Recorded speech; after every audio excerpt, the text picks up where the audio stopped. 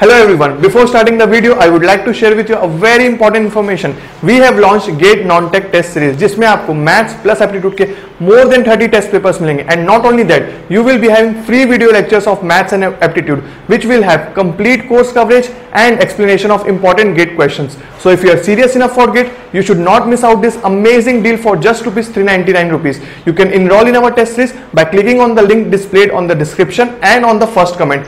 So now let's move to our topic discussion.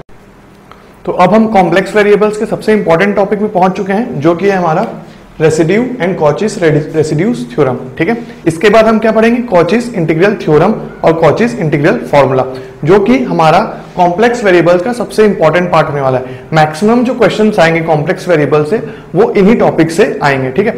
जो दूसरा important part था, वो क्या था? हमारा एनालिटिक फ़ंक्शंस और कॉची रीमेन इक्वेशंस जो कि हम कंप्लीट कर चुके हैं। अभी मैक्सिमम जो टॉपिक आने वाला है, वो यहीं से आएगा क्वेश्चंस राइट तो देखिए जनरली बाकी टीचर्स जो होते हैं, वो कॉम्प्लेक्स वेरिएबल्स को बाद में डील करना पसंद करते हैं। पर जस्ट बिकॉज़ कि कॉचिस रेसिड्यू थ्योरम और कॉचिस इंटीग्रल थ्योरम और कॉचिस इंटीग्रल फॉर्मूला में हम इंटीग्रेशन ही करेंगे, बस हम किसका इंटीग्रेशन करेंगे?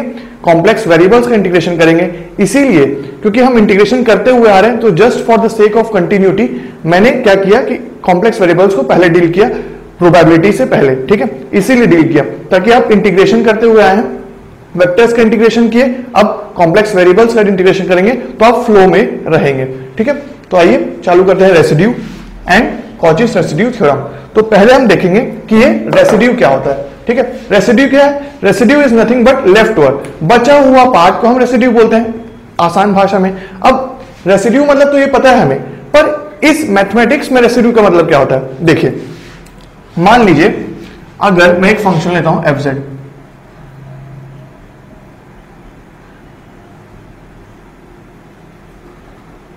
ठीक है?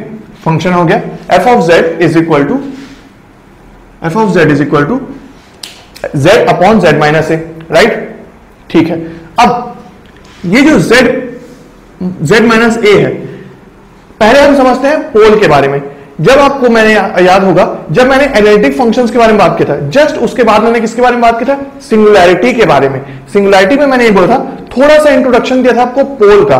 पोल क्या होता है? अगर कोई भी एफ़ जेड हमारा इस फॉर्म में है न्यूमिनेटर अपॉन डिनोमिनेटर ठीक है? न्यूमिनेटर अपॉन डिनोमिनेटर है। तो अगर मैं इस न्यूमिनेटर को, इस न्यूमिनेटर को अगर मैं इक्वेट कर दूँ किससे? ज़ीरो से। इक्वेट कर दूँ अगर ज़ीरो से तो z by zero will give me F Z किसके इक्वल हो जाएगा? एफ़ जेड बन जाएगा इन्फानाइट ठीक है? तो अगर मैं किसी भी फ़ंक्शन के डिनोमिनेटर को ज़ीरो पुट करता हूँ तो मेरा फ़ंक्शन हो जाता है इन्फानाइट और इसी पॉइंट को जब z की value z minus A equal to zero हुआ और z की वैल्यू आ गई a तो ये जो पॉइंट आया, z का वैल्यू जो आया जिसपे फ़ंक्शन की वैल्यू इन्फाइनाइट हो गई या तो फिर अनडिफाइंड हो गए, इसको मैं क्या बोलने वाला हूँ? इसी को मैं बोलने वाला हूँ पोल ठीक है? तो ये क्या है? Pole at z is equal to A F Z has pole at Z is equal to A ठीक है? F Z has pole at Z is equal to तो पोल वो पॉइंट है जहाँ पे फ़ंक्शन की वैल्यू इन्फाइनाइट हो जाती है और इसको पाते कैसे इसको हम डिनोमिनेटर को ज़ीरो करके पाते हैं राइट तो अब देखो, अगर मैं अगर मैं इस फ़ंक्शन में से पोल को हटा दूँ, इस फ़ंक्शन में से पोल को हटा दूँ तो जो बचा हुआ पार्ट होगा जो बचा हुआ पार्ट होगा, वो हमारा रेसिड्यू कहलाएगा, ठीक है? वो हमारा रेसिड्यू कहलाएगा। मतलब कि अगर एफ़ ऑफ़ जेड है मेरा Z upon Z minus A तो मुझे इसमें से पोल को हटाना है। मतलब कि इस वाले टर्म को हटाना है तो मैं यहाँ पे क्या करने वाला हूँ? अगर मैं मल्टीप्लाई कर दूँ क्या? z माइनस ए पूरे फ़ंक्शन से z माइनस ए मल्टीप्लाई कर दूँ। मैं देख रहा हूँ कि डिनोमिनेटर और ये न्यूमिनेटर वाला पार्ट कैंसिल आउट हो जाएगा और सिर्फ़ मेरे पास ये वाला पार्ट बचेगा। करेक्ट तो यही जो मेरा कहलाएगा, वो क्या कहलाएगा? रेसिड्यू ठीक है? ये रेसिड्यू पर ये थोड़ा सा डिटेल्ड में नहीं है। इसमें हम थोड़ा सा और डिस्कस करेंगे अभी। कैसे डिस्कस ये थोड़ा सा मैं आपको ब्रीफ बता रहा हूँ कि थोड़ा सा आइडिया दे रहा हूँ रेसिड्यू का। तो आपको थोड़ा सा आइडिया हुआ होगा कि अगर हम किसी फ़ंक्शन में से पोल को हटा दे पोल क्या होता है? वो पॉइंट जहाँ पे फ़ंक्शन की वैल्यू अनडिफाइंड हो जाती है। और उसको हटाने के बाद जो फ़ंक्शन बचता है हमारा, वो क्या कहलाता है? रेसिड्यू कहलाता है। ठीक है? अब ये रेसिड्यू वाला पार्ट तो क्लियर हुआ थोड़ा सा ठीक है? अब कॉचिस रेसिड्यू थ्योरम क्या बोलता है? ये बोलता है कि अगर, मान लो, यहाँ पे मैं इसको हटाता हूँ।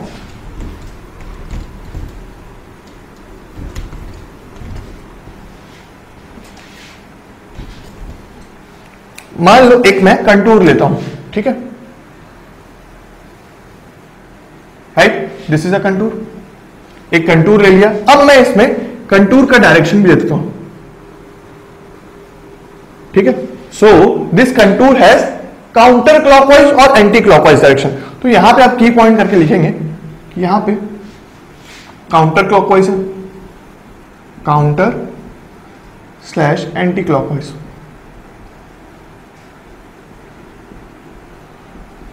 और इसी को मैं क्या बोलता हूँ, पता है?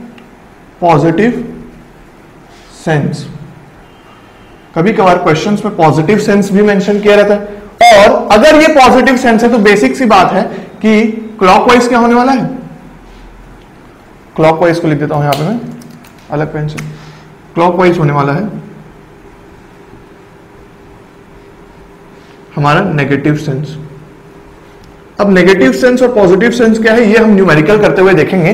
पर थोड़ा सा आइडिया दे देता हूँ कि अगर आपका कंटूर काउंटर क्लॉकवाइज है तो आपका आपका जो आंसर आएगा, वो पॉजिटिव रहेगा। और जो क्लॉकवाइज रहेगा अगर तो ओवरऑल साइन क्या कर देंगे हम? माइनस मल्टीप्लाई कर देंगे। तो हमारा क्लॉकवाइज के केस में होगा। खैर, इसको मैं क्वेश्चन से समझाऊँगा तो ज़्यादा अच्छे समझ जाएगा पर फ़िलहाल के लिए आप नोट्स में लिखेंगे कि अगर ये कंटूर है कंटूर का डायरेक्शन मेंशन है पॉजिटिव सेंस और काउंटर क्लॉकवाइज और एंटी क्लॉकवाइज और क्लॉकवाइज को हम नेगेटिव सेंस बोलते हैं। अब अब मैं बोल रहा हूँ कि एफ़ जो है एफ़ कंटूर क्या है? काउंटर क्लॉकवाइज एंटी क्लॉकवाइज में और क्लोज्ड कंटूर है। क्लोज कंटूर है क्योंकि हम लाइन लाइन इंटीग्रल या ओपन इंटीग्रल वाला कैलकुलेशन जो था कॉम्प्लेक्स वेरिएबल्स के केस में, वो हम कर चुके हैं। तो अभी हम पूरा फोकस किसमें करेंगे? क्लोज कंटूर में करेंगे। और जितने भी कॉचिस रेसिड्यू थ्योरम है कॉचिस इंटीग्रल फॉर्मूला है कॉचिस इंटीग्रल थ्योरम है, वो सब किसमें अप्लाई होने वाले हैं? क्लोज कंटूर में ही होने वाले हैं। ठीक है?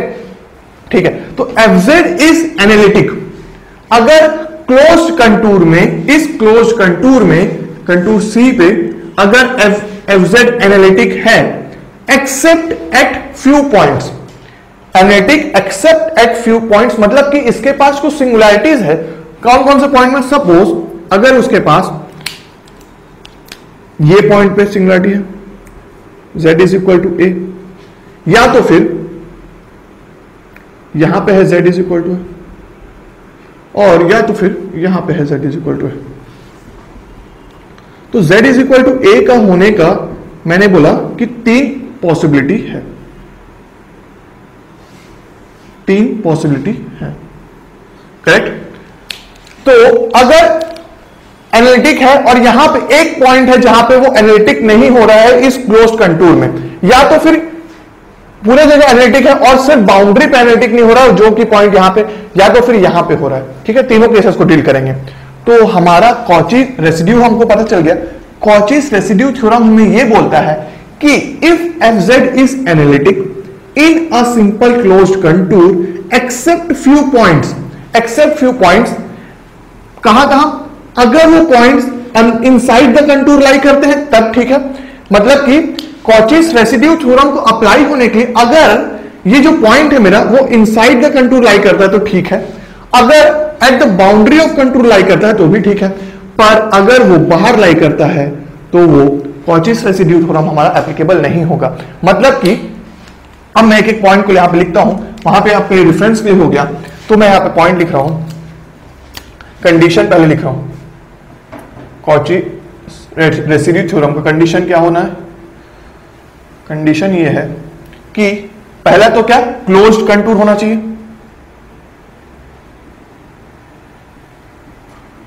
क्लोज्ड कंटूर राइट और एफजेड एनालिटिक होना चाहिए। Must be analytic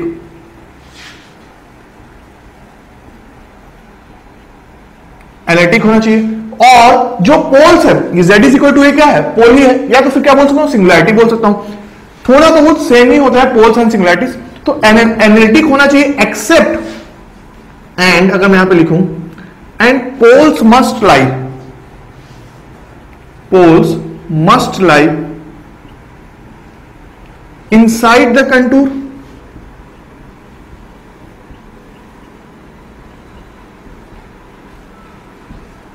or on the boundary of contour. अगर ऐसा है कि एफजेड पोल या तो अंदर या तो बाउंड्री पे लाई कर रहा है, तभी बाहर के लिए Cauchy's residue theorem is not applicable ठीक है? अगर ऐसा है तो हमारा ओवर इंटीग्रेशन जो होगा ना close integration f is equal to two pi i into residue of a naught plus residue at a one plus residue at point a n ठीक है? ये कंडीशन हमें दिया गया था कॉचिस रेसिड्यू थ्योरम के हिसाब से। पर इसको मैं पूरा स्टेटमेंट अभी डिटेक्ट करूँगा आपके सामने। ठीक है? ये फिर से एक बार रिकॉल करते हैं। अगर फ़ंक्शन है एनालिटिक है सब जगह, बस इस पॉइंट में अगर कोई पॉइंट है जो अंदर लाई कर रहा है, या तो कोई पॉइंट है जो बाउंड्री में लाई कर रहा है तो उस केस में हमारा कॉचिस रेसिड्यू थ्योरम एप्लीकेबल होगा। और कॉचिस रेसिड्यू थ्योरम ये बोलेगा हमें कि डायरेक्ट इंटीग्रेशन का जो रिज़ल्ट आएगा, वो क्या होगा? Two pi i into residue of function f z at a naught point क्या है? ए नॉट ठीक है? और दूसरा, अगर एक और पॉइंट है a one a two a three ऐसे कुछ पॉइंट्स हैं तो उस केस में हमारा ये एडिशन होगा और ओवरऑल मल्टीप्लाई होगा टू पाई आई से। तो मैं यहाँ पे पूरा अगर स्टेटमेंट बोलूँ कॉचिस रेसिड्यू थ्योरम का तो आप क्या लिखेंगे? पहले तो लिखेंगे कंडीशन कंडीशन के बाद आप स्टेटमेंट लिखेंगे। क्या स्टेटमेंट लिखेंगे? If f z is analytic if f z is analytic in in and on simple close contour except few point that is a naught a one up to a n then integration of f z d z is equal to two pi i residue a naught plus residue a one residue at point residue of f z at point a n ठीक है? क्या बोला मैंने? If f z is analytic with in and on the simple close contour contour except few points, a naught a1 a a a2 up to an then in that case, this is the case. ठीक है? तो ये कुछ formula था। अब बात क्या आती है कि मैंने आपको थोड़ा सा आइडिया दिया था रेसिड्यू का। अगर मैं पूरा बोल रहा हूँ कि रेसिड्यू को निकालना, कैसे कैलकुलेट कैसे करना है तो आई होप आपने यहाँ नोट कर लिया होगा। तो मैं यहाँ पे आप कैलकुलेशन ऑफ़ रेसिड्यू के बारे में बात करता हूँ।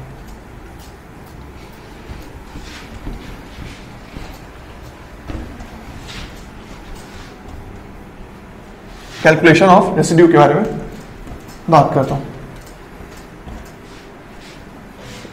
देखो।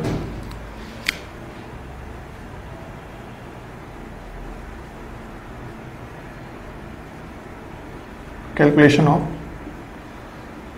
रेसिड्यू फॉर्मूला हमें पता चल गया कि डायरेक्ट अगर अगर ऐसा फ़ंक्शन सेटिस्फाई हो रहा है तो हम डायरेक्टली फॉर्मूला से रिज़ल्ट निकाल सकते हैं, वो हमें पता चल गया है। पर अब फॉर्मूला के टर्म्स को कैसे कैसे निकालना है, वो डिस्कस करने वाले हैं। तो हम कैलकुलेशन ऑफ़ रेसिड्यू बात करते हैं पहले।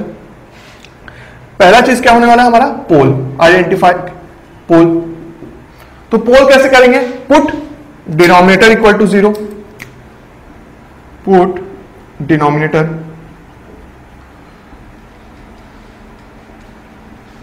equal to zero denominator को इक्वल टू ज़ीरो पुट करूँगा और मैं देखूँगा कि z की वैल्यूज़ क्या क्या आ रही हैं। तो मुझे क्या मिल जाएगा? Z की वो वैल्यूज़ मिल जाएगी जहाँ पे फ़ंक्शन इन्फाइट हो रहा है और वो क्या कहलाएगा? पोल कहलाएगा। नेक्स्ट थिंग मुझे क्या देखना है? इंपॉर्टेंट नेक्स्ट थिंग देखना है कि वो जो पॉइंट्स हैं, वो जो पोल हैं, क्या वो क्लोज कंटूर के अंदर लाई कर रहे हैं या फिर बाउंड्री में लाई कर रहे हैं? पर बाहर लाई नहीं करने चाहिए। अंदर या एट द बाउंड्री लाई कर सकते हैं, पर बाहर लाई करेंगे तो कॉचिस थ्योरम एप्लीकेबल नहीं होगा। ठीक है? Should not lie outside should not lie outside the contour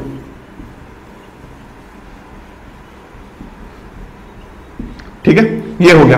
अब अगर ये दोनों चीज़ हो जाते हैं, तब मैं बात करूँगा रेसिड्यू का। रेसिड्यू मैंने जैसे क्या बोला कि फ़ंक्शन में से अगर z माइनस ए वाला टर्म मैं हटा देता हूँ, z माइनस टर्म हटा देता हूँ तो जो बचा हुआ पार्ट होता है वो मेरा रेसिड्यू कहलाता है। तो अगर सपोज़ मैं पोल निकाला पुट डिनोमिनेटर को पुट करके पोल निकाला, और अगर सपोज़ करो पहला केस ले रहा हूँ मैं। ए एफ़ जेड अगर मेरा इस फॉर्म का है। Z अपॉन ये कुछ भी हो सकता है जस्ट फॉर एग्जांपल ले रहा हूँ मैं। Z minus a z minus b and z minus c इस फॉर्म का है, और अगर मैं यहाँ पे डिनोमिनेटर को, ये पूरे डिनोमिनेटर को अगर मैं ज़ीरो पुट कर रहा हूँ यहाँ पे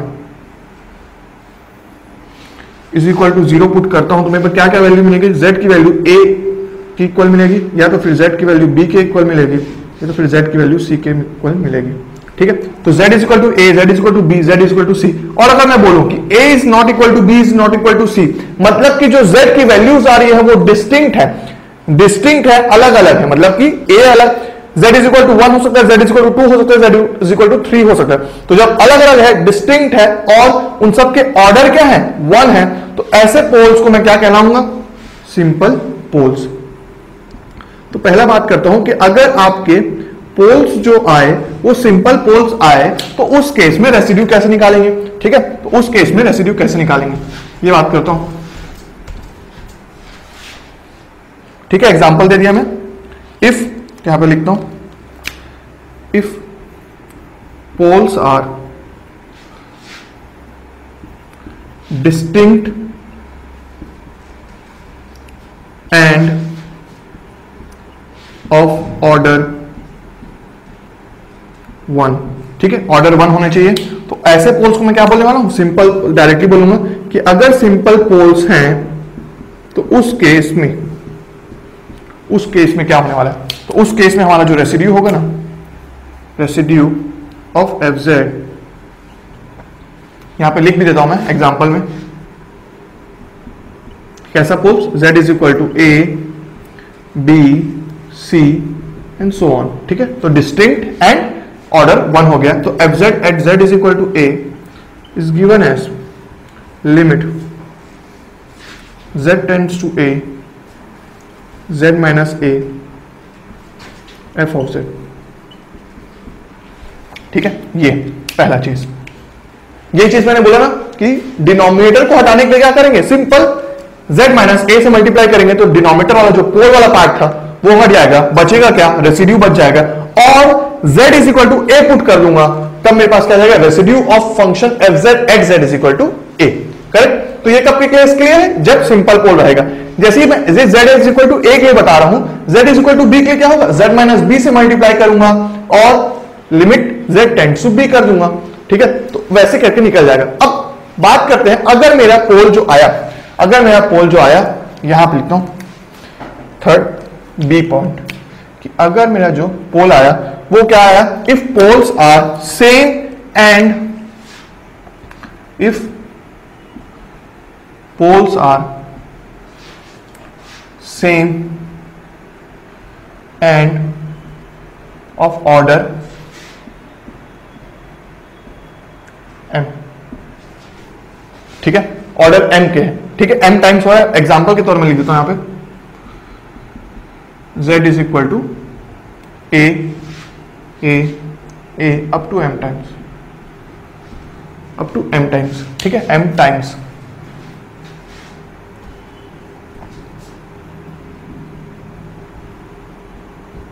तो उस केस में अगर पोल ज़्यादा है, जैसे कि एग्जांपल के तौर में यहाँ पे लिखूं, एक दिखा देता हूँ आपको। F z is equal to z upon z minus a cube form में रहा तो क्या हो जाएगा? ए ए ए तीन बार आ जाएगा तो उसी को बोल रहा था मैं, ठीक है? तो एम टाइम्स मतलब कि m is equal to three correct अब, ऐसा रहा तो उस केस में मेरा जो रेसिड्यू रहेगा ना फ़ंक्शन मैं उसको अच्छे फॉर्म में नीचे में लिखता हूँ।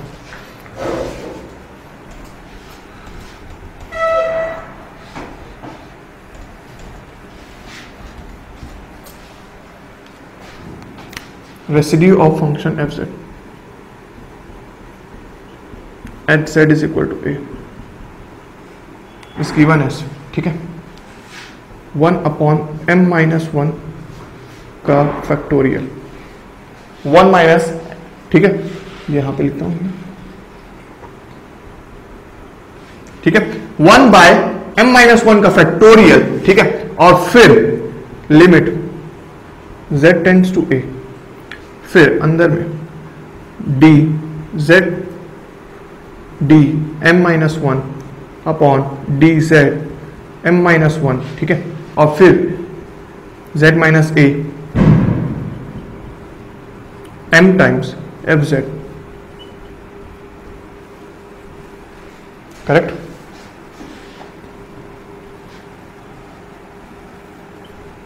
right ये तो अगर m टाइम्स पोल्स आ रहे हैं तो of function f z at z is equal to a is given as one by m minus one factorial into limit z tends to a limit z tends to a d m minus one मतलब कि अगर देखो, अगर पोल आया order three का तो दो बार डिफ्रेंशिएशन होगा।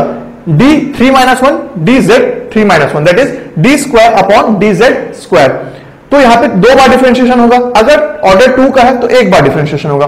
पर पहले क्या करेंगे हम? पहले z minus a to the power three से मल्टीप्लाई करके मैं, जैसे कि एग्जांपल दिया पोल वाले टर्म को हटा दूँगा। फिर मैं डिफ्रेंशिएशन करूँगा, उसके बाद लिमिट पुट करके z इज़ टू ए करूँगा और यहाँ पे फैक्टोरियल आ जाएगा।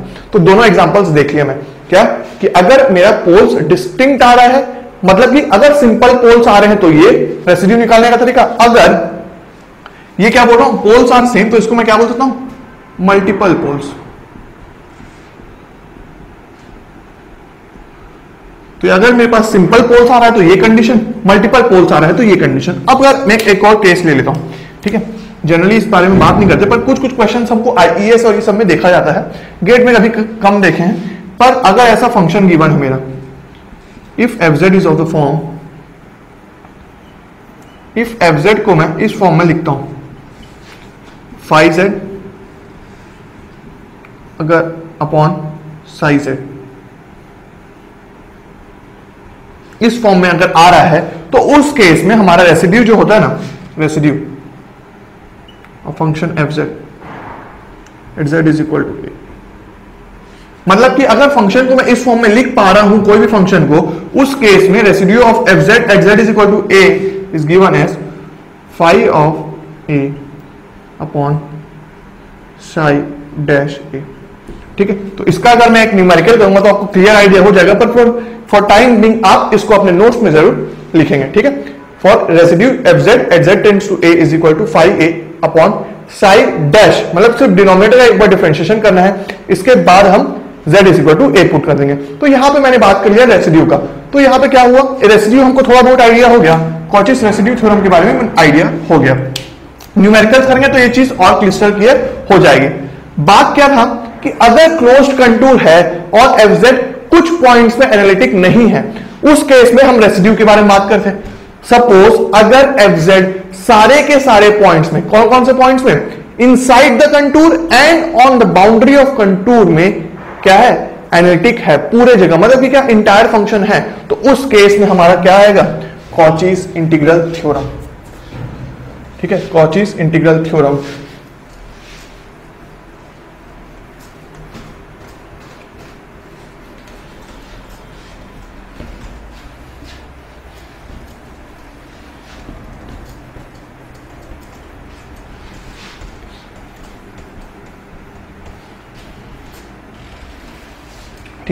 Cauchy's integral theorem बोल रहा हूँ मैं।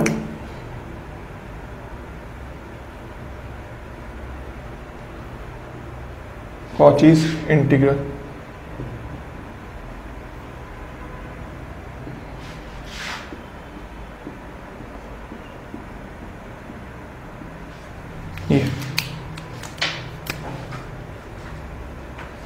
ठीक है तो रेसिड्यू का आइडिया हुआ। अब मैं क्या बोल रहा हूँ कि कंडीशन बोल रहा हूँ।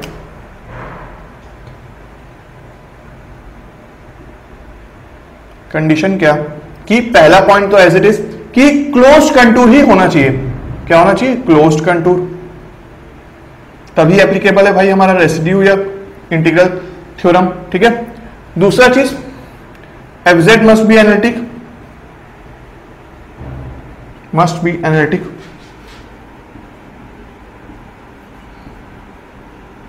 and and यहीं पे लिख देता हूँ। And poles must lie must lie outside the contour outside the contour contour के बाहर ही लाई करना चाहिए पोल्स ठीक है?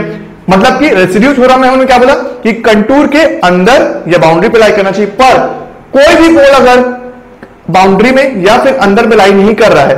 सारे के सारे पोल्स आउटसाइड द कंटूर है। तो उस केस में, उस केस में हमारा जो इंटीग्रेशन आएगा integration of f z contour पे क्लोज कंटूर पे d z is equal to directly zero directly zero आएगा।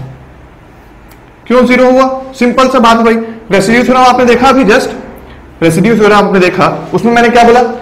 Two pi i into residue of function f z at z is equal to a naught in plus residue of function f z at z is equal to a one ऐसे करके add करते जाना था। अब एक भी पोल आ नहीं रहा है तो रेसिड्यू बन नहीं रहा है तो two pi i into zero is equal to zero simple ठीक है? तो यही बोला कॉचिस इंटीग्रल थ्योरम मतलब उसी का एक्सटेंशन हो गया ये कुछ। मतलब कि अभी आप देखोगे कॉचिस इंटीग्रल थ्योरम और कॉचिस इंटीग्रल फॉर्मूला कुछ नहीं है। कॉचिस रेसिड्यू थ्योरम ही है, ठीक है? तो यहाँ पे मैंने क्या बोला? अब मैं इसको स्टेटमेंट फॉर्म में बोल रहा हूँ कि if f z is analytic inside and या फिर if f z is analytic with in and on the boundary of a simple closed contour, then integration of fz fz dz is equal to zero मतलब यहाँ पे accept वाला point कुछ नहीं आ रहा है। मतलब हर जगह अगर एनालिटिक है और कोई भी पॉइंट ऐसा नहीं है जो अंदर या बाउंड्री अप्लाई कर रहा है। तो उस केस में इंटीग्रेशन हमारा ज़ीरो हो जा रहा है। ठीक है? अब कॉचिस इंटीग्रल फॉर्मूला के बारे में बात करते हैं। देखिए, आपको क्या करना है? कंडीशन लिखना है स्टेटमेंट लिखना है, फिर ही आप ये वाला पॉइंट लिखेंगे फॉर्मूला लिखेंगे। वैसे ही रेसिड्यू थ्योरम में भी पहले आप कंडीशन लिखेंगे, फिर स्टेटमेंट में जो मैंने बोला, फिर फॉर्मूलाज लिखेंगे। करेक्ट अब मैं बोल रहा हूँ कॉचिस इंटीग्रल फॉर्मूला के बारे में बात कर रहा हूँ। कॉचिस इंटीग्रल फॉर्मूला भी कुछ अलग से कुछ नहीं है। सेम ही चीज़ है वो। कॉचिस रेसिड्यू थ्योरम के जैसा ही है। फॉर्मूला भी इवन सेम ही है सब। देखो, मैं एग्जांपल दे रहा हूँ आपको। जैसे कि अभी मैंने पहला एग्जांपल क्या दिया था? F z is equal to z upon z minus a के फॉर्म में था। करेक्ट ये क्या बोला था? कॉचिस रेसिड्यू थ्योरम में मैंने एग्जांपल दिया था। अब मैंने क्या बोला था कि अगर मैं इसमें से क्या कर रहा था? Z माइनस ए मल्टीप्लाई कर दे रहा था। तो ये पार्ट हट जा रहा था, ये बचा हुआ पार्ट हो रहा था। अब इंटीग्रल कॉचिस इंटीग्रल फॉर्मूला में क्या होगा पता है?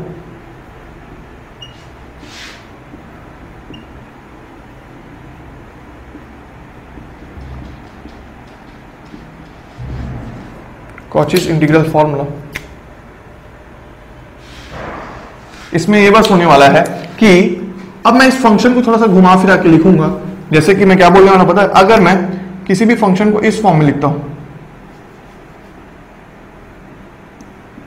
F z is equal to z minus a अगर कोई फ़ंक्शन है z upon z minus a के फॉर्म का, और मेरे को इसका इंटीग्रेशन करना है इसका इंटीग्रेशन करना है क्लोज कंटूर पे और डी जेड ऐसे। तो मैं क्या करूँगा पता है? मैं बस इसको बस नया नाम दे दे रहा हूँ। ये, इसको मैं बोल दे रहा हूँ एफ़ जेड ऐसे। समझ रहे हो? मतलब कि कुछ अलग नहीं हो रहा है। पहले मैं पूरे के पूरे फ़ंक्शन को बोल रहा था और मल्टीप्लाई कर रहा था जेड माइनस ए से। बस अब मैं न्यूमरेटर को एफ़ जेड बोल रहा हूँ डिनोमिनेटर को पहले से ही अलग कंसिडर कर ले रहा हूँ। हटा नहीं रहा हूँ, पहले से ही अलग कंसिडर कर ले रहा हूँ। रेसिड्यू थ्योरम में हम हटा देते थे, जो बचा वाला पार्ट आता था, वो रेसिड्यू हो जाता था। खैर, ये सब न्यूमेरिकल्स में आपको बहुत ही अच्छे से क्लियर हो जाएगा। पर अभी के लिए फॉर्मूला में मैं बस बोलूँगा आपको कि सेम ही फॉर्मूला है कॉचिस इंटीग्रल फॉर्मूला का और कॉचिस रेसिड्यू थ्योरम का। बस हम क्या करने वाले हैं? न्यूमरेटर को पहले से मैं एफजेड बोल दे रहा हूँ डिनोमिनेटर को पहले से अलग कंसिडर कर ले रहा हूँ और रेसिड्यू थ्योरम में हम पूरा फ़ंक्शन को एक कंसिडर करते थे और मल्टीप्लाई कर देते थे। किससे? डिनोमिनेटर वाले पार्ट से। ठीक है? तो खैर, इसको फॉर्मूला में हम देखें। क्वेश्चंस में थोड़ा सा और क्रिस्टल क्लियर फॉर्म में देखेंगे। तो अगर मैं यहाँ पे लिखता हूँ कंडीशन पहले।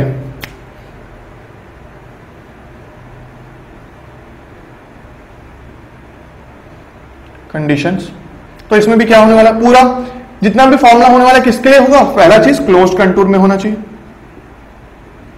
क्लोज कंटूर होना चाहिए। चाहे वो पॉजिटिव सेंस हो या नेगेटिव सेंस हो मतलब कि क्या एंटी क्लॉकवाइज हो या क्लॉकवाइज हो, कोई मतलब नहीं पड़ता। पर क्लोज कंटूर होना चाहिए। Next is f z is analytic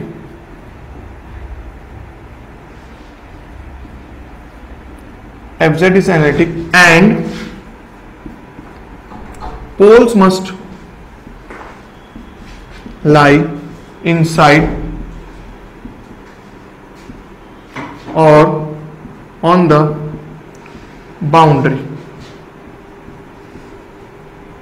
of the contour.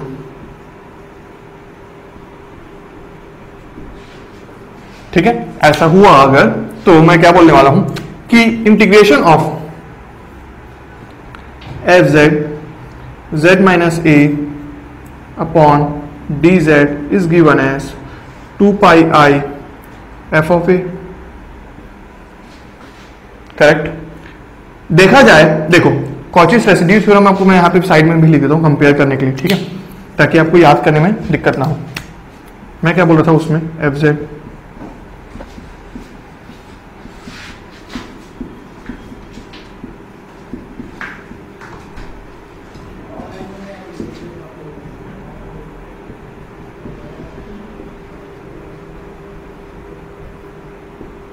देखो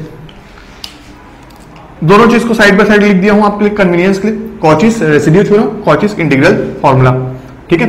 अब f z upon z minus a d z is equal to two pi i two pi i two pi i same है। F of a f of a कैसे आएगा भाई? देखो, इस denominator वाले part को मैं पहले ही हटा दिया। डिनोमिनेटर वाले पार्ट को पहले ही हटा दिया मैं। और जो ऊपर का न्यूमिनेटर वाला पार्ट था, उसमें बस मैं z is equal to a put कर दिया। उसमें बस मैं z is equal to a put कर दिया। क्या सेम चीज़ मैं यहाँ पे नहीं करता हूँ? सेम चीज़ करता हूँ ना? रेसिड्यू ऑफ़ ए नॉट निकालने के लिए कैसे किया था? एफजेड जो था ये जो एफजेड था किस फॉर्म में था? अगर न्यूमिनेटर अपॉन डिनोमिनेटर के फॉर्म में है और डिस्टिंग पोल आर एस थे हमारे तो हमारे क्या, क्या किए थे? जस्ट मल्टीप्लाई किए थे। डिनोमिनेटर पार्ट हट गया था और limit z tends to a कर दिया था मैं तो उससे क्या था? Limit z tends to a करने के बाद टू पाई आई न्यूमिनेटर वाला function at z is equal to a आया था। न्यूमिनेटर वाला function at z is equal to a आया था। तो सेम चीज़ हो रहा है यहाँ पे। ये भी न्यूमिनेटर वाला पार्ट इसमें बस क्या हो रहा है? इसमें बस मैं न्यूमिनेटर को एफजेड बोल रहा हूँ और इसमें पूरे के पूरे फ़ंक्शन को मैं एफजेड बोल दे रहा था बस और कुछ नहीं होता। इवेंचुअली हम डिनोमिनेटर को हटा दे रहे थे और सिर्फ़ न्यूमिनेटर पे at z is equal to a put करके इंटू टू पाई आई कर रहे थे और डिविएशन का रिज़ल्ट डायरेक्टली निकाल रहे थे। तो आपको समझ में आ गया होगा कि कॉम्प्लेक्स वेरिएबल्स में हम कुछ भी चीज़ सॉल्व नहीं करने वाले। हमको बस घूम फिर के इंटीग्रल फॉर्मूला और integral theorem Cauchy's residue theorem ये सब पे ही बात करना है डायरेक्टली फिर हमको रिजल्ट्स निकालने हैं। ठीक है तो यहाँ पे मैं एक कंडीशन पे लिखा कि अगर यहाँ पे क्या था ये पोल ऑफ़ ऑर्डर वन था। अगर मेरे पास एक और पोल एक, एक, एक और एग्जांपल देता हूँ आपको मैं कि इस काइंड ऑफ़ पोल है। Z minus a square d z तो उस केस में क्या हो जाएगा पता है? यहाँ पे मैं बोल रहा हूँ वन फैक्टोरियल ठीक है?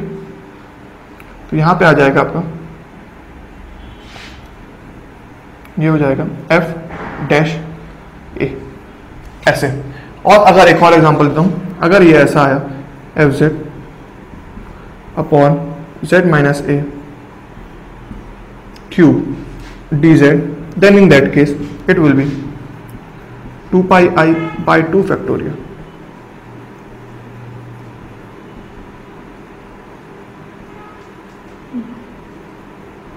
Two factorial f double dash a मतलब कि दो बार डिफरेंशिएशन करने के बाद z is equal to a put करूँगा। अब मैं डायरेक्टली जनरल रिज़ल्ट लिखता हूँ। जनरल रिज़ल्ट दूसरे रिज़ल्ट पेन से लिखता हूँ। F z z minus a to the power m है। ठीक है? टू द पावर एम है डी जेड है। तो सेम फॉर्मूला आने वाला देखना अभी। कॉचस रेसिड्यू में जो आया था, वही आएगा। कैसे? One upon one upon m minus one factorial correct फिर मैं यहाँ पे कर रहा हूँ d by d z m minus one m minus one correct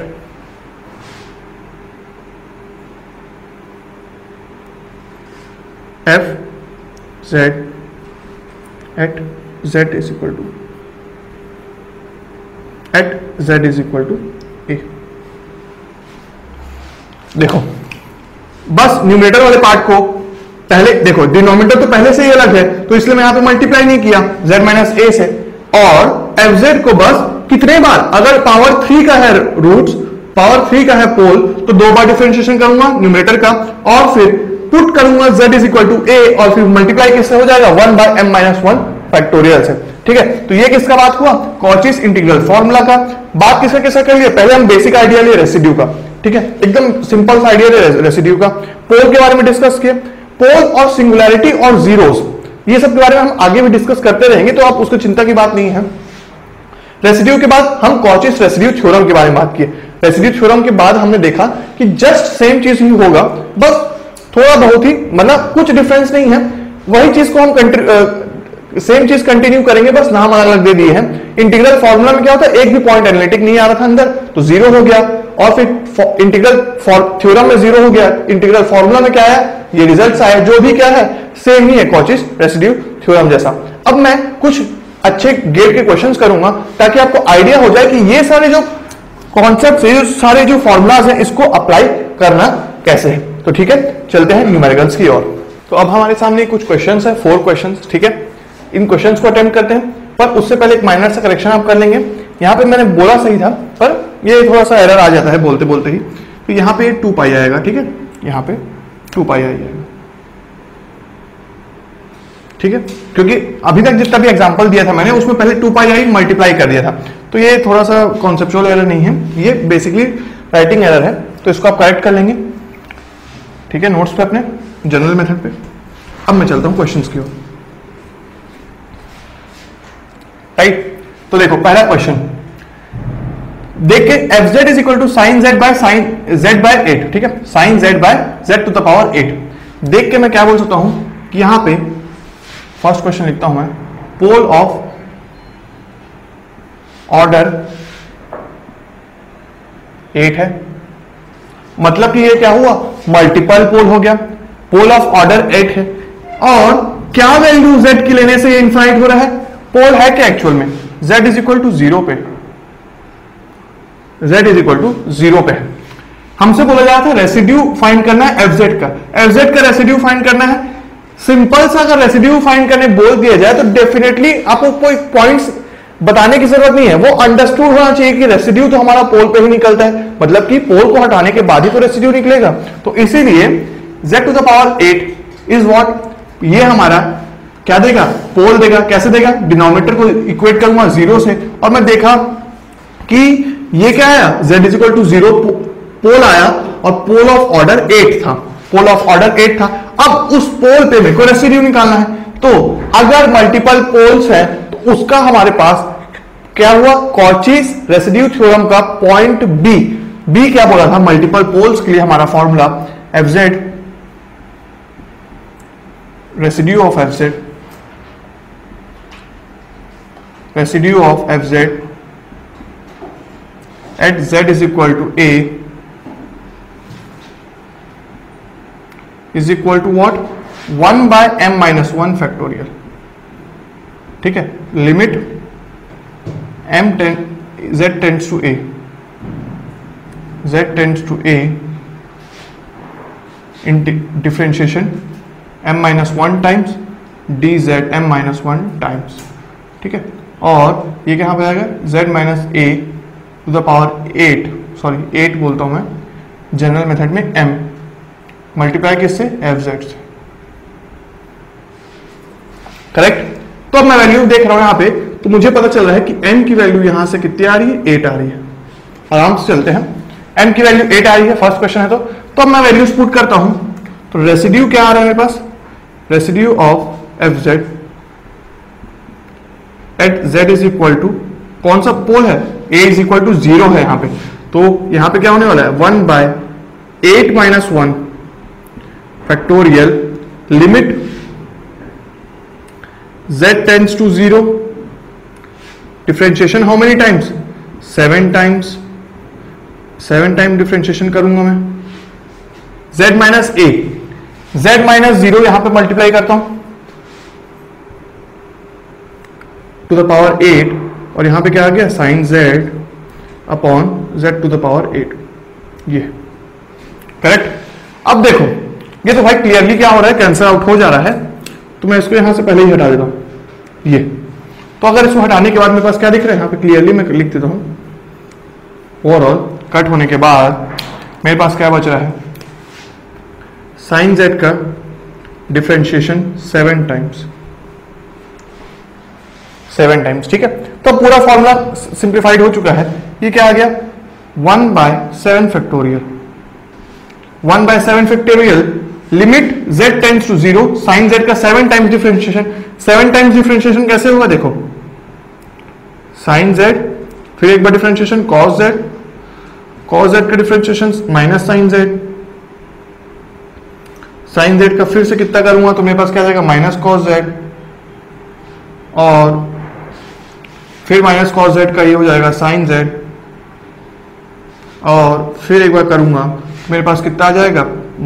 cos z यहाँ पे।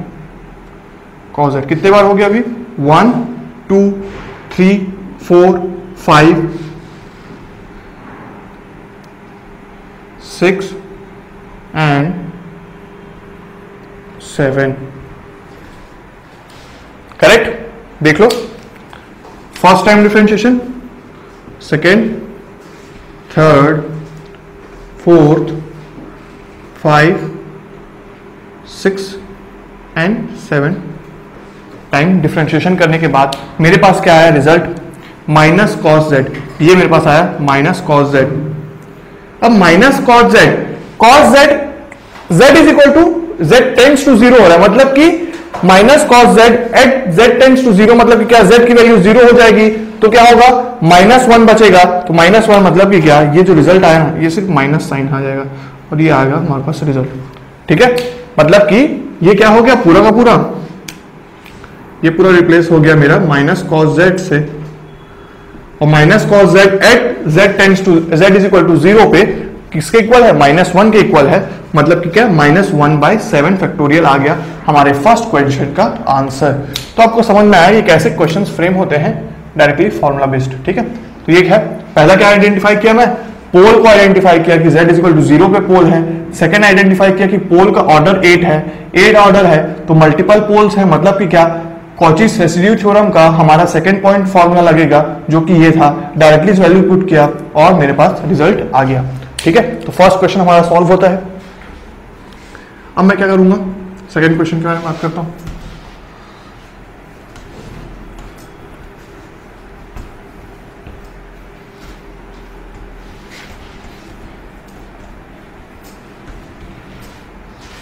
ठीक है? सेकंड क्वेश्चन अगर f z is equal to cot z है तो देखो मैंने आपने थर्ड फॉर्मूला भी लिखवाया था रेसिड्यू थ्योरम का। थर्ड फॉर्मूला था, उसको यूज़ करने के लिए मैंने ये क्वेश्चन को कंसिडर किया तो कॉट जेड का मतलब क्या? देखो, अगर f z is equal to cot z है मतलब कि क्या? ये इक्वल है cos z upon sine z के इक्वल और मैंने क्या बोला था कि residue of function f z अगर मैं एफ़ जेड कुछ इस फॉर्म का है एफ़ जेड अगर आपका phi z psi z upon इस फॉर्म का है तो आपका रेसिड्यू क्या है? किसके इक्वल आ रहा था? रेसिड्यू ऑफ़ एफ़ जेड आ रहा था।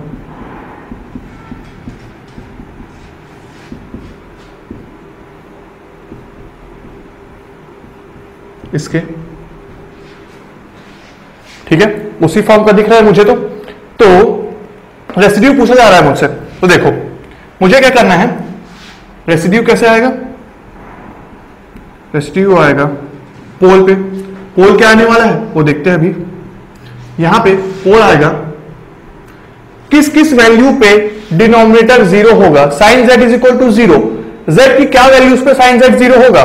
कौन कौन सी वैल्यू पे? Z is equal to zero pi two pi and so on, ठीक है? तो इस वैल्यूज़ पे z की क्या होगा? हमारा डिनोमिनेटर ज़ीरो होगा मतलब कि ज़ीरो पाई, टू पाई, ये सब क्या होने वाले पोल होने वाले हैं। अब मैं अगर रेसिड्यू की बात कर रहा हूँ यहाँ पे तो मेरे पास क्या आने वाला है? Cos z. कॉस जेड को मैं लिख देता हूँ, कॉस रुको अभी, पहले कॉस जेड ही लिखता हूँ तो कंफ्यूज हो जाओगे डिफ्रेंशिएट करता हूँ तो क्या आएगा? Cos z. अब मुझसे क्या बोला जा रहा है? Z is equal to p पे। पी फॉर पोल ठीक है? तो ज़ीरो रखू पाई रखू टू पाई रखू, कुछ भी रखू, पर क्या आने वाला है मेरे पास? कॉस ज़ीरो बाय ज़ीरो आएगा, या तो फिर कॉस पाई बाय बाई या फिर cos two pi by by या फिर कॉस टू पाई बाय मतलब सब कुछ सेम होने वाला है। तो ओवरऑल मेरे पास जो रिज़ल्ट आने वाला है ना रेसिड्यू वो मेरे पास वन आने वाला है यहाँ पे।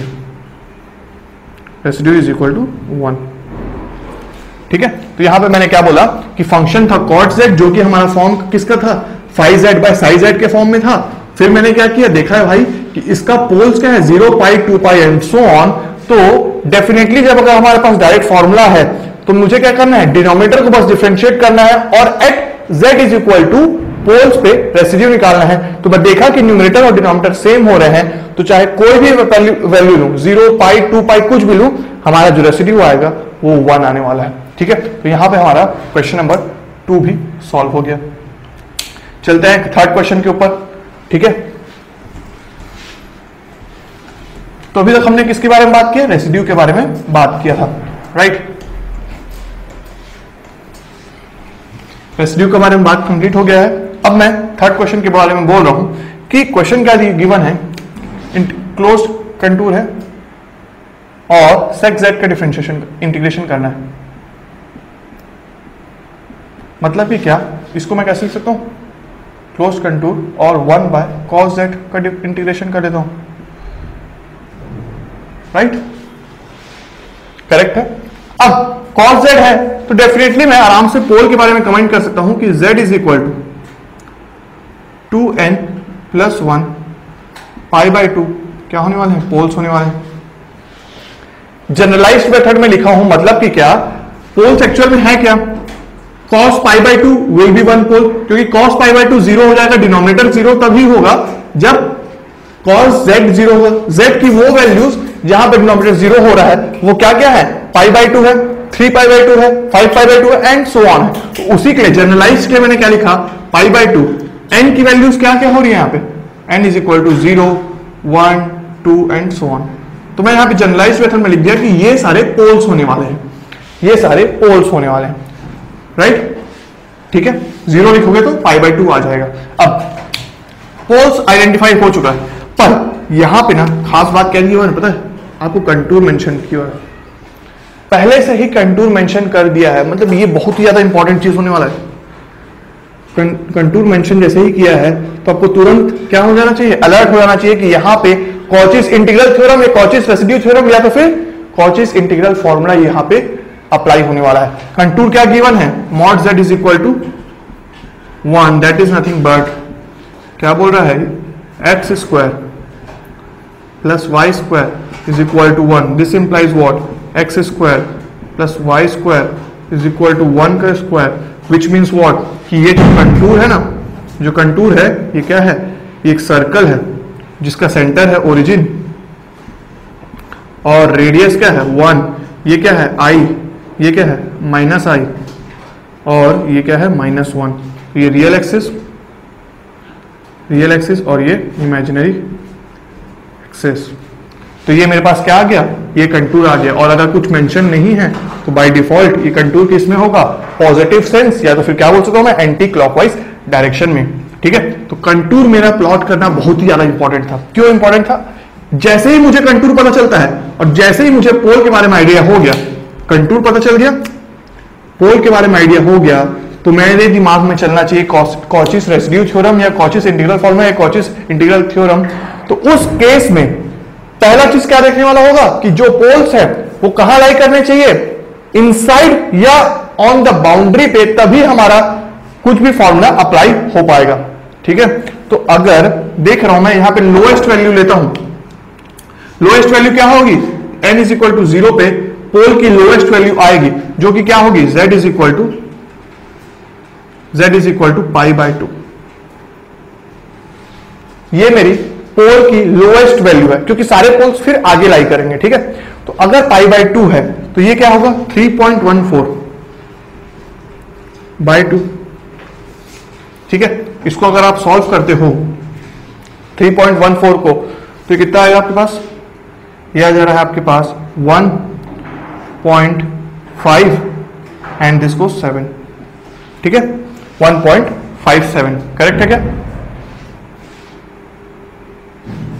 चेक कर लेते हैं टू जो भी है पर वन से बड़ी आ रही है। ये जो वैल्यू आ रही है ना, ये कहीं पे, यहाँ पे लाई कर रही है। यहाँ पे। जो पोल था, वो यहाँ पे लाई किया। मतलब कि ये जो वैल्यू है पोल की, वो क्या है? ग्रेटर देन ज़ीरो है। और अगर जैसे ही ग्रेटर देन वन है, अगर ग्रेटर देन वन है मतलब कि क्या? वो कंटूर के बाहर लाई कर रही है। और कंटूर के बाहर अगर लाई कर रही है मतलब कि क्या? कॉचिस इंटीग्रल थ्योरम के हिसाब से किसी भी फ़ंक्शन किसी भी फ़ंक्शन का इंटीग्रेशन क्लोज कंटूर में, और अगर वो एनालिटिक हो, पूरे पॉइंट में, और कोई भी पोल इनसाइड या ऑन द बाउंड्री लाइन नहीं कर रहा है तो उसका इंटीग्रेशन का रिज़ल्ट क्या आएगा? ज़ीरो इसका मतलब कि क्या? Sec z d z cos z d z का ओवर द कंटूर दिस इस कंटूर में इसका रिज़ल्ट क्या होने वाला है? इक्वल टू ज़ीरो किसके हिसाब से? बाय कॉचिस इंटीग्रल थ्योरम ठीक है? तो ये था आपका क्या? थर्ड क्वेश्चन ठीक है? जिसका आंसर आया क्या? ज़ीरो क्लियर है? तो यहाँ पे आपको समझ में आया कि कैसे कॉचिस इंटीग्रल थ्योरम के बारे में हम कैसे यूज़ करेंगे कि पोल को बस प्लॉट करना है, आपको देखने के कंटूर के अंदर आ रहा है कि नहीं। राइट तो अब चलते हैं हम अपने फोर्थ क्वेश्चन के ऊपर।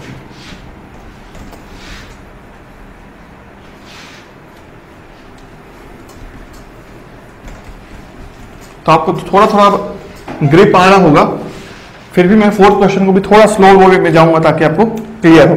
पर यहाँ पे आपको कंटूर दिख जा रहा है पहले से। देखो, पहली बात तो ये कि ये क्या होने वाला है? क्लोज कंटूर होने वाला है। राइट ये चीज़ आपको पता चल गया क्लोज कंटूर गिवन है और mod z is equal to one है। मतलब कि क्या?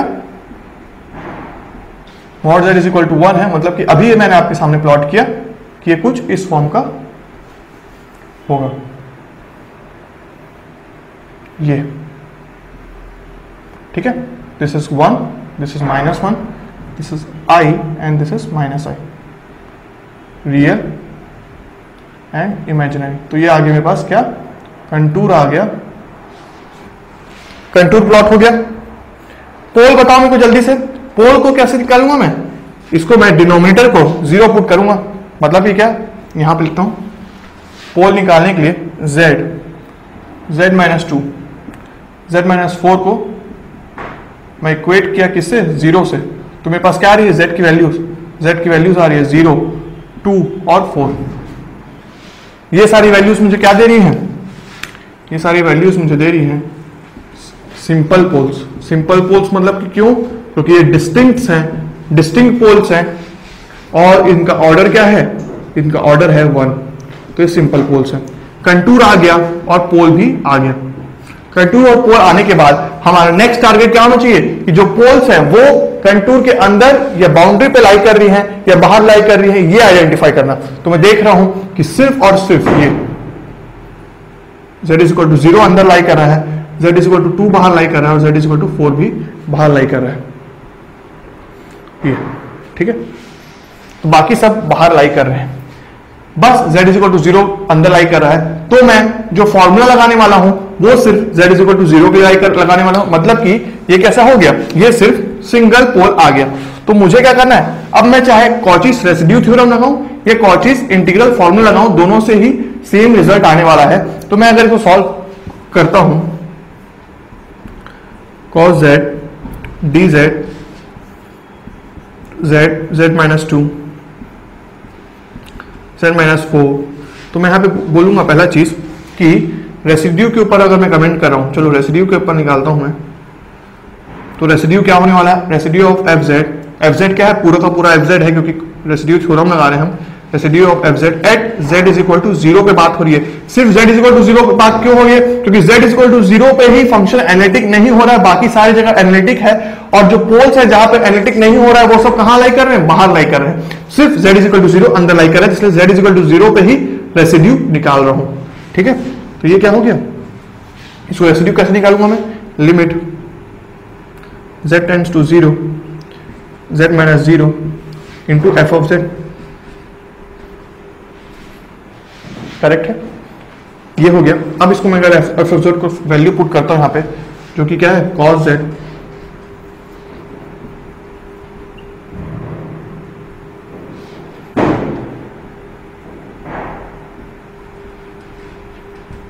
ये। तो अगर आप देख रहे हो ज़ीरो पुट करने से आपके पास क्या वैल्यू आ रही है? This and this got cancel this got one and this got minus two and minus four that is one by eight ये ठीक है? तो रेसिड्यू क्या आया? At z is equal to zero पे वन बाय एट आ गया। और इसका रिज़ल्ट क्या होने वाला है? जब रेसिड्यू मेरे पास आ गया है तो इसका रिज़ल्ट क्या होने वाला है? Two pi i into residue of residue at a naught that is what?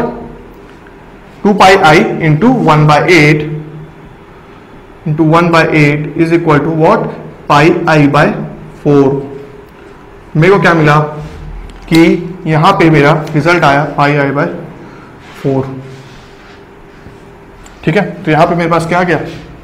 Cos z का इंटीग्रेशन रिज़ल्ट कितना आया? पाई आई बाय फोर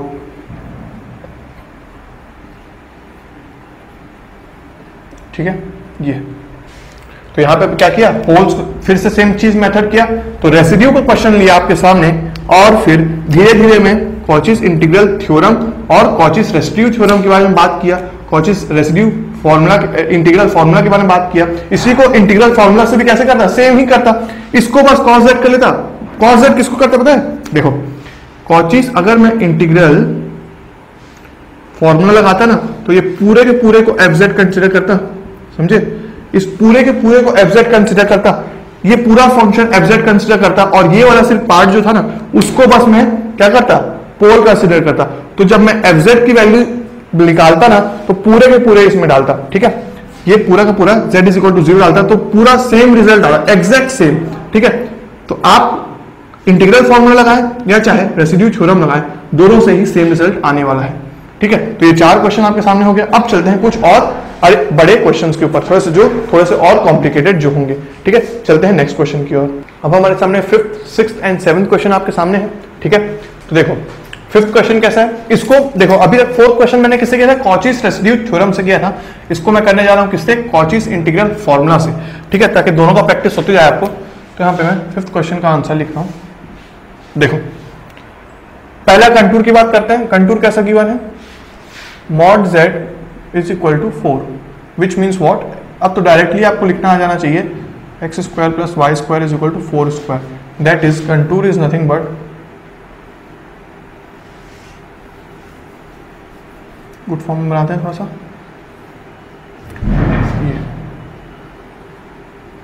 ये क्या हो गया? Four minus four four i minus four i real and imaginary और ये क्या है? काउंटर क्लॉकवाइज ठीक है? तो कंटूर भी हमारा मार्क हो गया है। कंटूर का बात हो गया। नेक्स्ट थिंग बात किसका करना है? पोल के बारे में बात करना है। अब देखो पोल यहाँ पे किस फॉर्म में? Coefficient of z is not equal to one तो जनरली जब भी coefficient of z is not equal to one तो आप कोशिश करेंगे फॉर सिंप्लिसिटी आप कोफिशियंट ऑफ़ z को वन करेंगे, ताकि आपको पोल्स निकालने में और फॉर्मूला लगाने में इजियर पड़े, ठीक है? तो अगर मैं इसको पहले कोफिशियंट ऑफ़ जेड यहाँ पे कोफिशियंट ऑफ़ जेड को मैं वन करने की कोशिश करूँ अगर मैं मैं क्या कर रहा हूँ? इसको मैं कंटूर सी लिख देता हूँ। और ये क्या हो गया? Z square plus eight upon point five को अगर मैं कॉमन ले लूँ तो मेरे पास क्या आ रहा है? जेड माइनस थ्री जे आ रहा है डी जेड अब देखो, कई बार गेट में आई दिया रहता है और कभी कभार जे दिया रहता है। तो आई और j is nothing but the same thing that is i is equal to j is equal minus one ठीक है? ये होगा। तो दोनों आपके लिए कंफ्यूज नहीं होंगे। कभी जे से हम डिनोट करते हैं, कभी आई से। तो ये सेम चीज़ है। अब, ये आ गया मेरे पास तो मेरे पास फ़ंक्शंस कैसे बच जा रहा है पता है? वन बाय टू पूरा वन बाय टू सॉरी ये आ गया two one by point five को मैं अगर जैसे बाहर निकाल दिया यहाँ पे तो क्या बन गया ये? Two integration of z square eight upon z minus three j d z अब ये उस फॉर्म में आ गया तो मैं डायरेक्टली बोल सकता हूँ कि पोल जो होने वाला है पोल वो क्या होने वाला है? z is equal to three j होने वाला है। कैसे? Z is equal minus three j को मैं इक्वेट किया ज़ीरो से z is equal to three j आ गया। Z is equal to three j को अगर मैं मार्क कर रहा हूँ यहाँ पे, कहाँ पे आ रहा है ये? यहाँ पे। ठीक है? J है तो यहाँ पे भी j कर दो। थ्री जे तो कैसा आया ये? ये आ गया मेरा इनसाइड द कंटूर अगर ये इनसाइड द कंटूर है तो मतलब कि ये कंडीशन सेटिस्फाई हो रहा है और हमारा फॉर्मूला एप्लीकेबल हो सकता है। तो अगर मैं यहाँ पे क्या कर रहा हूँ, इसको मान लेता हूँ एफ़ जेड ये पूरा का पूरा टर्म को एफ़ जेड मान रहा हूँ। ये क्या हो गया? जेड माइनस ए के फॉर्म में आ गया। ये आ गया मेरा z माइनस ए के फॉर्म में। कैसा पोल है? सिंपल पोल है। और मतलब कि क्या? ऑर्डर क्या है? वन है इसका। तो अगर मैं कॉचिस इंटीग्रल फॉर्मूला से कर रहा हूँ तो डायरेक्टली क्या आएगा मेरा रिज़ल्ट इसका रिज़ल्ट आएगा two into two pi i into f of a ठीक है? इंटू एफ़ ऑफ़ ए ये टू कहाँ से आया? ये टू इसके इक्वल ठीक है? ये एक्स्ट्रा टू और ये टू पाई आई तो आपको पता ही है एफ़ ऑफ़ ए फॉर्मूला है। पेज पलटा के देख लीजिए, आपको फॉर्मूला पता चल जाएगा इसका। तो एफ़ ऑफ़ ए पता चल गया हमें। एफ़ ऑफ़ ए को अगर मैं पुट करता हूँ तो क्या आने वाला है? ये देखो। ये आएगा मेरा two that is four pi i directly लिखता हूँ। Four pi i pole is what three j three j का square at z is equal to a करना है तो जेड की जगह ए क्या होगा? थ्री जे होगा plus eight which is what four pi i ये जे होगा sir j minus nine plus eight minus four pi i that is nothing but अपना अगर आंसर ये आ रहा है तो मेरा रिज़ल्ट क्या आएगा? ये option d four pi j this was the answer तो इसको मैंने क्या सॉल्व किया? इसको मैंने सॉल्व किया कॉचिस इंटीग्रल फॉर्मूला से, जिसमें मैंने न्यूमिनेटर को एफ़ लिया। डिनोमिनेटर उस फॉर्म में था। Directly two pi i f of a से मल्टी किया सॉल्व और रिज़ल्ट ला दिया। तो ये आपका क्वेश्चन क्या हुआ? क्वेश्चन नंबर फिफ्थ का रिज़ल्ट हो गया। अगर मैं बात करता हूँ क्वेश्चन नंबर सिक्स के बारे में। क्वेश्चन नंबर सिक्स के बारे में, ठीक है?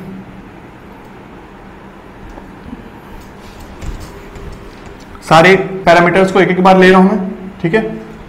रेसिड्यू निकाला, फिर कॉचिस रेसिड्यू थ्योरम सॉल्व किया कॉचिस इंटीग्रल थ्योरम से सॉल्व किया कॉचिस इंटीग्रल फॉर्मूला से भी सॉल्व करके दिखा दिया, ठीक है? तो ओवरऑल मामला अगर आप देख रहे होगे तो सेम ही चीज़ हो रहा है कोई नया नहीं हो रहा है? सिर्फ़ फॉर्मूला लगा रहे हैं पोल्स कंटूर प्लॉट कर रहे हैं पोल्स देख रहे हैं कि अंदर लाई कर रहा है कि नहीं, और डायरेक्टली फॉर्मूला लगा रहे हैं। सिक्स क्वेश्चन की बात कर रहा हूँ, इसमें पहला चीज़ क्या? कंटूर आइडेंटिफाई करना।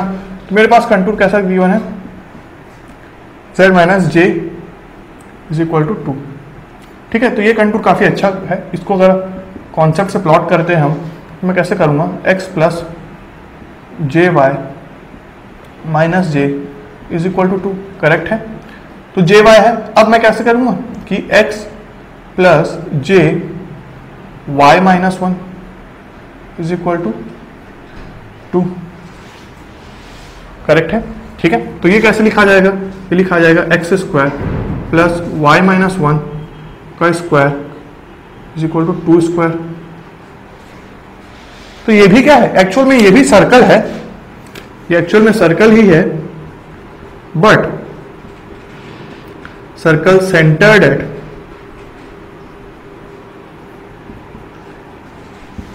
यहाँ पे ये ज़ीरो कॉमा वन ठीक है? ये कहाँ पे सेंटर्ड है? ज़ीरो कॉमा वन पे। क्योंकि हमारा सर्कल का एक्चुअल फॉर्मूला क्या होता है? X minus a square plus x minus y minus b square is equal to r square ऐसा होता है। ठीक है? तो यहाँ पे ये कह दे रहा था हमको, ये हमको सर्कल का सेंटर देता था, यहाँ पे a is equal to zero है, b क्या है? वन के इक्वल है। तो उस हिसाब से सेंटर आ गया तो अब मैं अगर प्लॉट कर रहा हूँ। अब मैं अगर प्लॉट करता हूँ इसको तो देखो, कहाँ कहाँ आना चाहिए? ये रेडियस होना चाहिए इसका टू और सेंटर होना चाहिए इसका ज़ीरो कॉमा वन तो ये zero comma one this goes one और this cos one to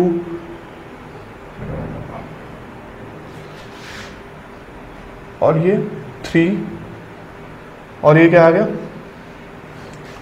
J J J correct और ये कहाँ तक आएगा? ये this is radius is two j ठीक है? तो ये आ गया आपका minus one j minus j और माइनस टू जे ठीक है? पूरे एकदम एग्जैक्ट फॉर्म में प्लॉट करने की कोशिश कर रहा हूँ मैं। तो अगर यहाँ पर रेडियस है ऐसा, और यहाँ पे कहाँ से होगा? This is the centre and आपको कहाँ तक जाएगा? रेडियस जाएगा यहाँ से। कहाँ तक आएगा? यहाँ तक। ठीक है? ठीक है, थोड़ा सा सही बना है और ये ऐसे। यहाँ पे आगे ये। दिस इज़ द सर्कल ठीक है? तो ये आपके सर्कल है। इन पॉजिटिव सेंस बोला है और सबसे बड़ी बात, यहाँ पे पॉजिटिव सेंस में बोला तो कंटूर का डायरेक्शन क्या है? काउंटर क्लॉकवाइज तो यहाँ पे अब मैं कंटूर प्लॉट करने में सक्षम रहा। तो पहला चीज़ हो गया हमारा प्लॉट प्लॉट करना। तो ये कुछ इंटरेस्टिंग टाइप का कंटूर था। यहाँ पे आपको कॉन्सेप्ट का चेकिंग हो रहा था। ठीक है? कैसे आपको करना? अगर यहाँ पे एक्स जेड माइनस वन होता तो क्या होता? अगर यहाँ पे जेड माइनस वन होता तो क्या होता? जेड माइनस जे है अभी तो वाई एक्सिस में आ गया। शिफ्ट हो गया ऊपर। ठीक है? अगर जेड माइनस वन होता तो क्या होता? सेंटर कहाँ पे आता? वन कॉमा ज़ीरो पे आ था वन कॉमा ज़ीरो पे आ था। राइट तो वो चीज़ आप समझ चुके हैं एक क्वेश्चन से। कंटूर प्लॉट हो गया। Next thing is what we have to plot the poles poles क्या होने वाला है आपका? जेड स्क्वायर प्लस फोर को अगर मैं ज़ीरो पुट कर रहा हूँ तो मैं देख पा रहा हूँ कि z is equal to plus minus two i is my poles ठीक है? Z is equal to plus minus two i एक पोल क्या हुआ? ये। नेक्स्ट पोल इज़ दिस तो क्या दिख रहा है मुझे? कि ये पोल जो हो रहा है, ये क्या है? आउटसाइड और ये क्या है? इनसाइड तो अगर ये कंटूर के इनसाइड है तो बस इसी के लिए फॉर्मूला लगेगा और बाकी के लिए नहीं लगेगा। तो मैं अगर इसको सॉल्व कर रहा हूँ, अगर मैं इसको सॉल्व कर रहा हूँ तो मैं कैसे करूँगा? डायरेक्टली कॉचिस इंटीग्रल फॉर्मूला से जाता हूँ मैं कंटूर को सॉल्व करने के लिए। तो ये आ जा रहा है ब्रेक कर देता हूँ directly f z f z को मैं ऐसे लिखता हूँ। One upon z plus two i. Z minus two i. D z correct है? z plus two i, z minus two i, z square plus four को मैं ब्रेक किया हूँ। अब ना, ये इंटरेस्टिंग पार्ट होने वाला है कि एफ़ जेड जो होगा ना एफ़ जेड वो कौन सा पार्ट होने वाला है पता है आपको? ये।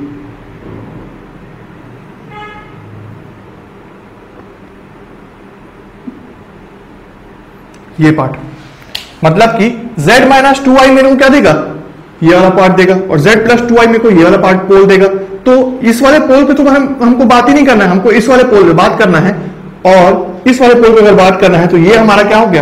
पोल हो गया। अब मेरे को इसके ऊपर बात करना था। तो अगर मैं चाहे रेसिड्यू थ्योरम से जाऊँ या इंटीग्रल फॉर्मुला से जाऊँ, अगर मैं इंटीग्रल फॉर्मुला से जा रहा हूँ तो ये मेरा क्या होने वाला है? ये मेरा होने वाला है f z this is f z ठीक है? क्योंकि हमारा इंटीग्रल फॉर्मुला में थ्योरम से क्या होता है? F z upon z minus a f z upon z minus a तो this is f z and z minus a correct तो this is what integral formula और अगर मेरे को रेसिड्यू थ्योरम से आना होता तो क्या करता मैं? पूरे के पूरे को मल्टीप्लाई करता। किससे? z माइनस टू आई से मल्टीप्लाई करता। इवेंचुअली ये वाला पार्ट हट जाता। और मेरे पास बचता क्या? यही वाला पार्ट बचता। और मैं क्या करता? z is equal to two i put कर देता। तो अभी भी वही कर देता हूँ। चलो। तो यहाँ पे क्या आने वाला है? इसका रिज़ल्ट डायरेक्टली मैं लिखूं अगर तो ये आने वाला है two pi i into f of z at z is equal to a तो ए क्या है यहाँ पे? This is a a is what z is equal to two i this is z is equal to two i तो यहाँ पे क्या है? I and j are the same thing ठीक है? कंफ्यूज नहीं होंगे. One by two i plus two i give me one by four i that is equal to pi by two ठीक है? तो ये आ गया मेरे पास पाई बाय टू अब अगर यहाँ पे क्लॉक यहाँ पे क्या दिया हुआ है? पॉजिटिव सेंस दिया हुआ है। ठीक है? पॉजिटिव सेंस अगर ये सपोज़ करो नेगेटिव सेंस में दिया होता तो क्या डिफरेंस आ रहा कुछ डिफरेंस नहीं आ रहा सारा कैलकुलेशन सेम होता। और यहाँ पे रिज़ल्ट क्या था? माइनस पाई बाय टू उस केस में हमारा रिज़ल्ट जो आता ना, वो क्या होता? माइनस पाई बाय टू ये। ये होता। ठीक है? तो आपको समझ में आया? ये काउंटर ये क्वेश्चन जो कंटूर प्लॉट करने के पॉइंट ऑफ़ व्यू से भी अच्छा क्वेश्चन था। आपको कॉन्सेप्ट क्लियर किया। आपको समझ में आ गया कि z माइनस जे है तो ऐसे होगा। अगर z माइनस वन होता तो भी क्या कैसे बनाते हैं हम सर्कल एक्स एक्सिस में बनाते। फिर पोल्स निकाले। पोल्स में से एक पोल बाहर था, एक पोल अंदर था। और उसके बाद हम डायरेक्टली इंटीग्रल फॉर्मूला लगाए। और देखिए कि पॉजिटिव सेंस में अगर ये आंसर है नेगेटिव सेंस में क्या होगा? माइनस फाइव बाई टू होगा। तो यहाँ पे सिक्स क्वेश्चन भी सॉल्व होता है। अब देखो सेवन क्वेश्चन में मैं आपको होमवर्क दे रहा हूँ। सेवन क्वेश्चन में आपको होमवर्क देता हूँ। पर फिर भी मैं आपको ओरली सॉल्व करने के बता देता हूँ। देखो, यहाँ पे D for D for domain होता है। Domain and contour are the same thing notice करने वाली बात क्या है? कि ये काउंटर क्लॉकवाइज है। नेक्स्ट थिंग व्हाट कि सिग्मा और जे ओमेगा तो उससे घबराने वाली बात नहीं है। यहाँ पे वेरिएबल चेंज हो गया। एस पे आ गया है। तो एस आपको इलेक्ट्रिकल और इलेक्ट्रॉनिक्स वाले को ये बात पता होगी कि S is nothing but equal to sigma plus J omega तो S is nothing but equal to sigma plus J omega electronics वाले को ये बात पता होगी। तो वैसे इसके बारे में जानना कोई ज़रूरत नहीं है इस क्वेश्चन को सॉल्व करने के लिए, क्योंकि आपको क्या करना है? सेम कॉन्सेप्ट करना है। इसको क्या करेंगे? इसी फॉर्म में तो है। इसका रूट्स क्या आएगा? इसका रूट्स आएगा one by S plus one and S minus one और अगर मैं यहाँ पे देख रहा हूँ तो S minus one that is यहाँ पे एक पोल आ रहा है और S plus one this is other pole तो ये पोल क्या हो गया? आउटसाइड और ये क्या हो गया? इनसाइड अगर ये इनसाइड हो गया तो जस्ट मुझे बस इसके निकालना पड़ेगा। मतलब कि क्या? ये मेरा क्या हो गया? एफ़ अगर ये एफ़ हो गया, और F Z at Z is equal to minus one that is minus at one by two हो गया। One by two into two pi I तो that is nothing but equal to J pi ठीक है? तो ये orally में solve किया हूँ। थोड़ा सा आइडिया देने के लिए। पर आपको पूरा स्टेप बाय स्टेप सॉल्व करना है। आंसर भी आपको बता दिया हूँ। सेम इसी क्वेश्चन के मेथड सॉल्व करेंगे। तो यहाँ पे आपका एक और सेवन क्वेश्चन भी कंप्लीट होता है। सात क्वेश्चन कर चुके हैं। एक लास्ट क्वेश्चन करते हैं एट क्वेश्चन उसके बाद इस पूरे टॉपिक को वाइंड अप करते हैं। ठीक है? चलते हैं एट क्वेश्चन की ओर। तो अब हमारे सामने एट क्वेश्चन है, जो कि हमारा लास्ट क्वेश्चन होने वाला है इस इंपॉर्टेंट टॉपिक का। ठीक है? तो ये एक अलग टाइप का क्वेश्चन है। सेम चीज़ होने वाला है, बस थोड़ा सा क्या डिफरेंस है इसका? इस वाले पार्ट का, इसमें कभी कभी कंफ्यूज हो जाते हैं। तो इसलिए मैंने इस क्वेश्चन को भी रख दिया। देखो, हमेशा की तरह पहले क्या करना है? कंटूर आइडेंटिफाई करना है। तब तो हम उस्ताद हो गए कंटूर आइडेंटिफाई करने में। तो सिंपल सा क्या है? कंटूर प्लॉट कर दिए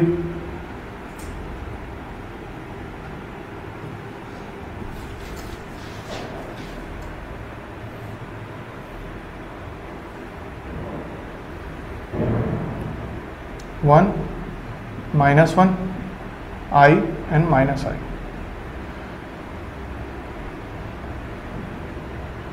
real ठीक है? कंटूर प्लॉट हो गया. कंटूर का काम हो गया. पोल्स की बात करनी है अब हमें. तो पोल्स मुझे क्या मिल रहा है? Z minus one by two and Z square minus four Z plus five equal to zero ये करेक्ट है? तो एक पोल तो डायरेक्टली निकल जा रहा है। वन बाय टू बाकी इन दोनों को सॉल्व करना है। तो ये तो बड़ी बात नहीं है। क्वाड्रेटिक क्वेश्चन है। क्या क्या हो जाएगा? देखो। ए है मेरा one B is minus four and this is C तो फॉर्मूला लगा रहा हूँ मैं। Minus B plus minus B square minus four A C तो क्या जा रहा है? Four plus minus B square sixteen minus four A C, four into one into C that is five that is two A ठीक है? ये, ठीक है? तो ये कितना आ रहा है मेरे पास? Four plus minus sixteen minus twenty that is equal to four minus four minus four by two this is was plus minus two आ रहा है तो ये क्या हो जाएगा? प्लस माइनस टू आई ये. तो पोल्स क्या क्या है मेरे पास?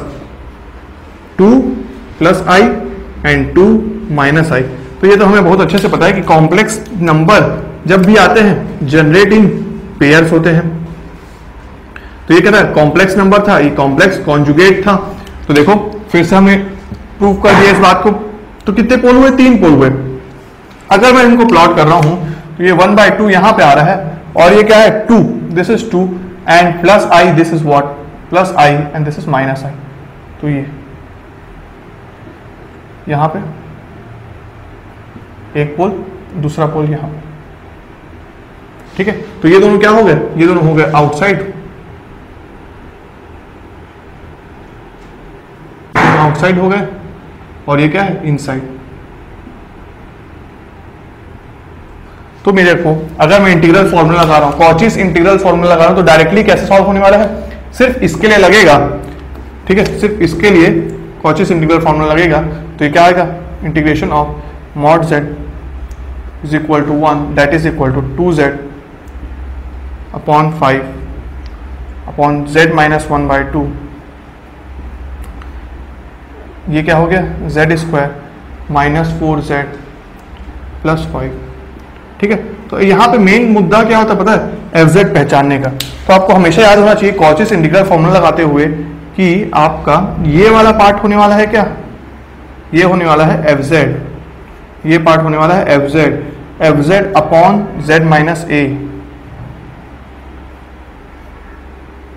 ठीक है? तो ये वाला पार्ट क्या हो गया? z माइनस ए तो लोग बोलेंगे कि भाई F Z upon Z minus A किया मतलब सर, इसको अपॉन ये करूँगा तो ये तो ऊपर चले जाएगा। तो वैसा नहीं है। आपको सिर्फ़ ये वाला पार्ट कंसिडर करना है अलग से, ठीक है? F Z upon Z minus A मतलब कि ये पूरे पार्ट को नीचे नहीं रखना है। क्योंकि फिर उसको करने से तो फिर ये ऊपर चले जाएगा। तो वैसा नहीं है। ये पूरा पार्ट सिर्फ़ एफ़ जेड है। अब, और जेड माइनस ए है तो जो रिज़ल्ट आने वाला है वो मेरा, वो क्या आने वाला है? Two pi I into F of A F of A क्या आएगा? यहाँ पे मैं z की जगह क्या पुट करने वाला हूँ यहाँ पे? Z की जगह पुट करने वाला हूँ वन बाय टू तो वन बाय टू पुट करता हूँ अगर मैं तो ये क्या हो जाएगा? One plus five upon this goes one by four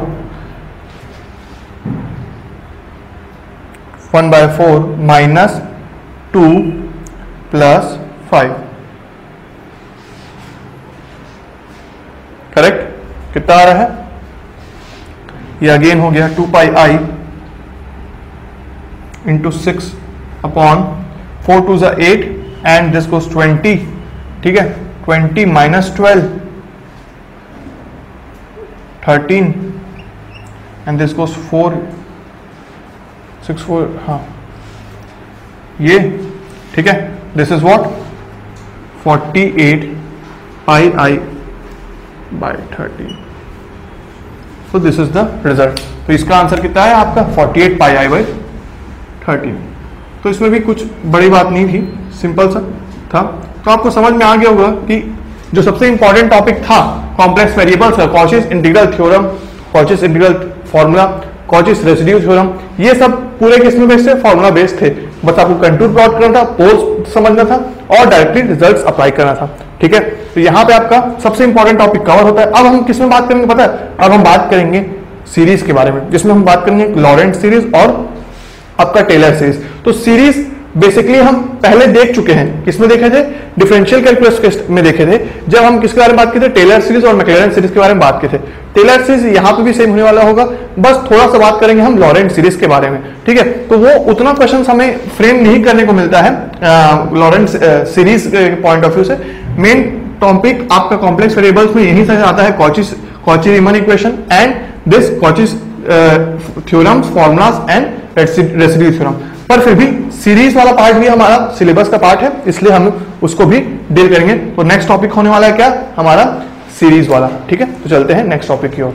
Thank you everyone for watching this video till the end please like this video and share with your friends if you are new to this channel subscribe to our YouTube channel and don't forget to hit the bell icon to get the latest updates And to boost your GATE preparation, enroll in our test series by clicking on the link displayed on the description and in the first comment. You can also join our Telegram channel by clicking on the link displayed in the description box. तो मिलते हैं अब next video में तब तक have a good day. See ya.